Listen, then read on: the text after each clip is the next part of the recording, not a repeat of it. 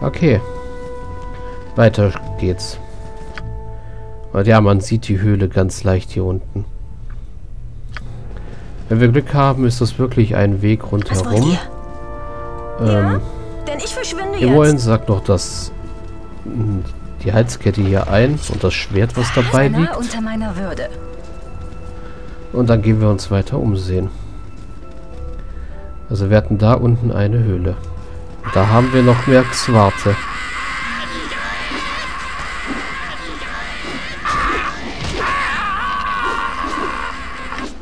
Und immerhin gehen auch demnächst die Pfeile aus.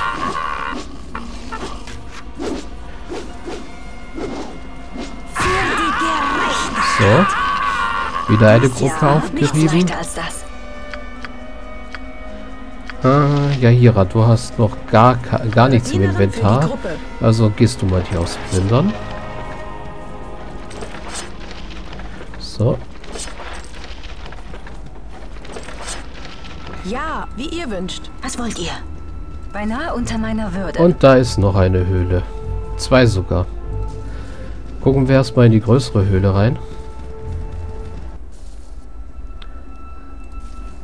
Noch mehr Xwarte. Du hältst dich mal dezent zurück, wollte ich sagen eigentlich. So. Und ihr kümmert euch um die restlichen. Ja.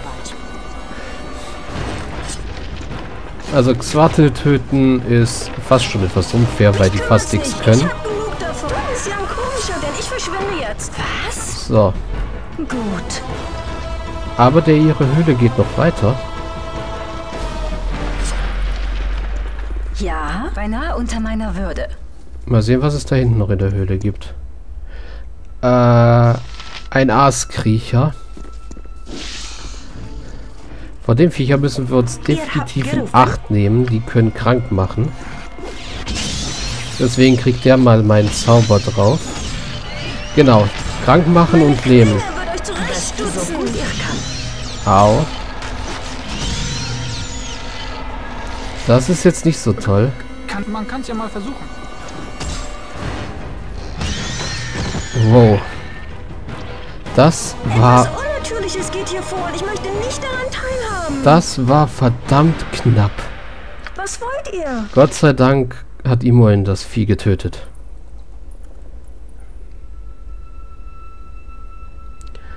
Jetzt hoffen wir mal, dass die Lähmung demnächst nachlässt. Dann müssen wir hier gucken, dass wir diese Höhle als Rastoption nehmen. Obwohl es geht gerade noch so. Sie hat ja noch mal noch ihre Heilfähigkeit. Dann kann sie sich selber heilen. Okay, die erste Lähmung hat nachgelassen. Die zweite Lähmung, sie wurde so oft gelähmt jetzt. So, das muss erstmal alles nachlassen. So.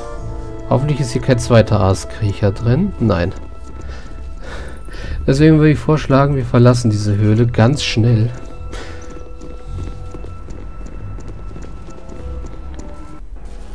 Beinahe unter meiner Würde. Und schauen uns die andere noch an. Und ja, ich traue dem ganzen Spiel mal ein bisschen nicht. Ich habe nämlich manchmal das Problem, wenn ich so kleine Orte betrete, dass das Spiel abstürzt. Deswegen mache ich, mach ich, mach ich manchmal sicherheitshalber vor sowas auch Quick Saves. Das Spiel ist halt wirklich alt, weil ich spiele das Original und nicht die Extended Version. Weil ich finde, dass die Extended Version, naja, nicht so wirklich toll ist von der Umsetzung. Also mich hat sie bis jetzt noch nicht wirklich überzeugt. Was für ein Zauber. Ah, sprühende Hände. Der Zauber bringt es leider nicht so wirklich gut. Oder ist das sprühende Farben? Sprühende Farben. Mit diesem Zauber versprüht der Magier leuchtende, sich beißende Farben flächenförmig aus seiner Hand. Hat Wirkungsdauer augenblicklich, was eigentlich schon mal gut ist. 1 bis 6 Wesen, 1 bis 6 innerhalb des Bereiches werden entsprechend ihrer zunehmenden Entfernung vom Magier davon betroffen. Allen Wesen im Bereich muss ein Rettungswurf gelingen oder sie werden ohnmächtig. Naja, bringt nicht wirklich viel, aber... Ja, nichts leichter als das. Ist ganz nett.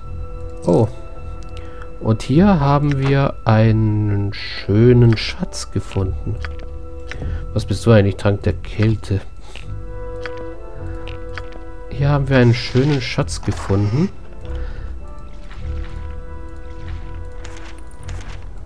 So. Erst einmal Zauber. Dein Inventar ist voll. Das geht ja mal gar nicht. Erst einmal ein paar Zauber. Also nochmal magische Geschosse und Lebensentzug. Entzug von Lebenskraft. Hat nicht geklappt. Ist auch nicht so wichtig. Der Zauber ist eh nicht sonderlich stark. Also ich bevorzuge immer magische Geschosse, wenn es möglich ist. So, wir haben hier jetzt ein paar... Äh, dein Inventar ist voll. Minsk hat noch keine Heiltränke, dann kriegt Minsk mal die drei. Ähm, und du schmeißt mal eins hiervon raus, nimmst eins davon rein. Was wollt ihr? Nichts leichter als das. Dann ziehen wir uns mal kurz in die Ecke dieser Höhle zurück. So. Speichern. Und rasten einmal. So, das hat erfolgreich geklappt. Seine Gesundheit lässt ein bisschen zu wünschen übrig, deswegen heilst du mal Kadit. Und du identifizierst dieses Buch hier. Ein Leitfaden. Nach dem obskuren Symbolen auf dem Umschlag zu urteilen, besitzt dieses Buch eindeutig magische Eigenschaften. Solange ihr nicht versucht, es zu lesen oder zu identifizieren, wird euch die wahre Natur allerdings verborgen bleiben. Also identifizieren wir das mal. Leitfaden der Führungsstärke und Einflussnahme. Einer der beliebtesten Leitfäden der Führungsstärke und Einflussnahme ist das Buch mit dem zynischen Titel Wie man Freunde gewinnt und Menschen beeinflusst. Wie andere Bücher dieser Art steht es für eine Philosophie des persönlichen Aufstiegs und der Manipulation anderer allein durch die eigene Ausstrahlung. Die Autoren und Anhänger dieser Leitfäden behaupten, dass durch die Anwendung der neuesten Theorien aus den Bereichen Soziologie Psycho und Psychologie das Charisma einer Person um einen Punkt gesteigert werden kann. Ja, etwas out of Spiel, aber okay. In Wirklichkeit sind solche Steigerungen das Ergebnis von Zaubersprüchen, die während des Schreibens auf den Text übergegangen sind. Dieselben Zaubersprüche sorgen auch dafür, dass der Leitfaden nach erstmaligem Gebrauch verschwindet.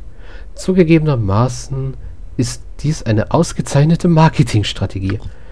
Ja, wir haben einen super Leitfaden, kostet nur 20.000 Goldmünzen. Ähm, er steigert euer Charisma um einen Punkt. Aber danach ist er wertlos. Er löst sich auf. Also müsst ihr nochmal einen kaufen für 20.000 Goldmünzen. Wenn ihr noch mehr Charisma wollt. Das sind übrigens, ist ein, übrigens eins der Bücher, was ich angesprochen habe, womit ich die, ähm, also während der Charaktererstellung, womit ich die Attributspunkte steigern möchte. Also Konstitution auf 18 bringen, Weisheit auf 18 bringen, Stärke auf 19 bringen, Geschicklichkeit 16, Intelligenz Übrigens, Weisheitsbücher gibt es drei Stück im Spiel. Und ich weiß sogar noch, wo alle drei verborgen sind. Ich glaube, abgesehen vom Geschicklichkeitsbuch weiß ich wirklich, wo alle sind. Stärke und Intelligenz sind, glaube ich, am selben Ort gewesen. Nur Geschicklichkeit müsste ich mal gucken, aber ich glaube, das liegt im Baldus Tor irgendwo. Jedenfalls benutzen tut man die Bücher wie Tränke, also in den Schnellsockel ziehen und dann einfach anwenden. Charisma wurde auf Dauer um einen Punkt gesteigert. 19 Charisma. Das heißt, wir kriegen jetzt noch mehr Rabatte. Ja, beinahe unter meiner Würde. Bei den Händlern. So, im Augenblick kannst du das Identifizieren einmal drin lassen. Beinahe unter meiner Würde. Weil noch sind deine magischen Geschosse nicht so stark, dass sie jetzt äh, gebraucht werden. Jedenfalls haben wir jetzt das Gebiet erkundet und es ist schon wieder Nacht. Naja, bei Nacht auf in so einem klippigen Gebiet rum... Klippigen Gebiet, das klingt jetzt auch irgendwie komisch. In einem Gebiet voller Klippen rumzulaufen, ist auch nicht gerade die beste Idee, aber wir sind ja zum Glück fast fertig mit dem Erkunden. Und soweit ich weiß, gibt es keine Höhlen mehr.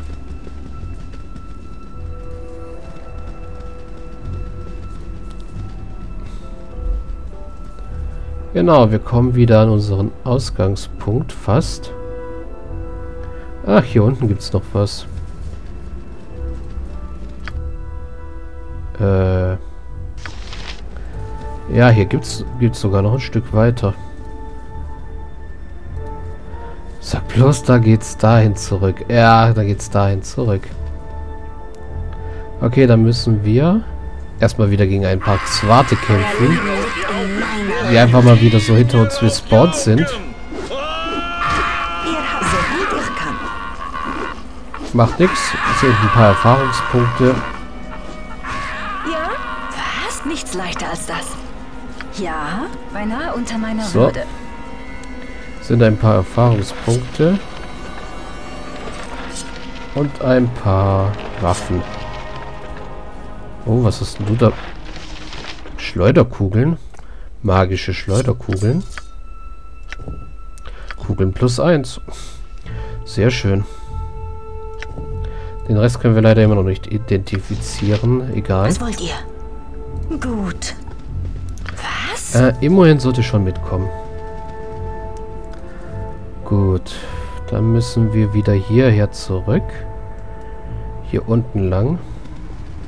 Ja, in Baldur's Gate 1 gucke ich gerne mal ins Inventar, wenn wir ein längeres Stück laufen müssen.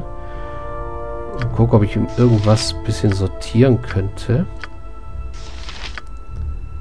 Zum Beispiel, ob irgendjemand Edelsteine doppelt hat, um Platz zu sparen, so wie sie gerade. Sie hat einen ganzen Stack von den Edelsteinen gehabt. Du hast noch so einen, der kann, nein, nicht zumindest zu Khalid. Schwarzen haben wir nirgends. Nö. Okay, dann sind, glaube ich, alle gesteckt. Gut. Und schwupps sind wir schon an unserem Zielpunkt angekommen. Jetzt können wir uns noch dieses Stückchen hier ansehen und dann werden wir die Gnollfestung wieder verlassen und zurück nach Naschkeller reisen. Und zwar den direkten Weg. In Naschkel angekommen werden wir wahrscheinlich eine kleine Ruhepause einlegen müssen, nachdem wir das ganze Zeug verkauft haben, was wir jetzt mit uns rumschleppen. Also ja, ein paar Goldmünzen werden dabei rausspringen, hoffe ich mal. Die Waffen scheinen doch, doch noch einigermaßen äh, verwendbar zu sein. Trotzdem aufpassen. So. Okay, wir haben es über die Brücke geschafft fast. Das heißt, die Knolle können uns mal. So, also. Wie gesagt, die Gebiete hier, die drei, vier, die erkunde ich, nachdem ich Nasch in Naschkel und den Minen fertig bin.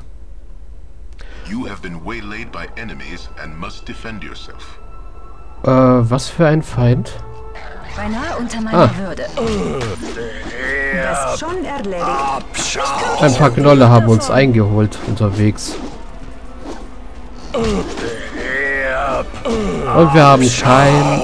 Und wir haben keine Pfeile mehr für Imoen.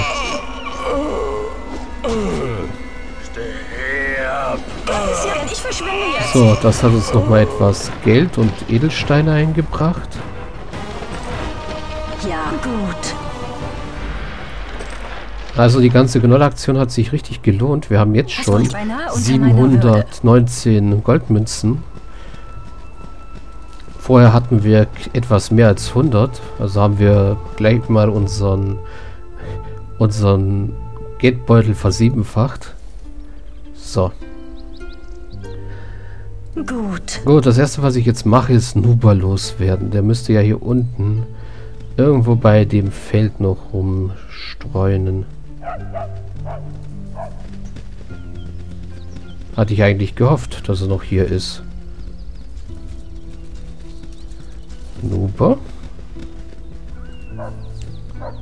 Magie verlangt einen wachen Geist.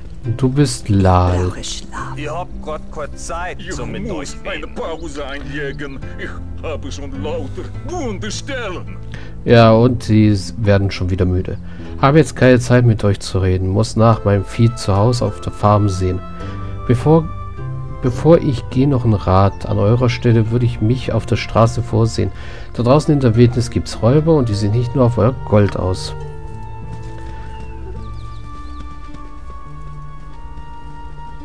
Hier, Oh, nach einer Rast kann ich viel klarer denken.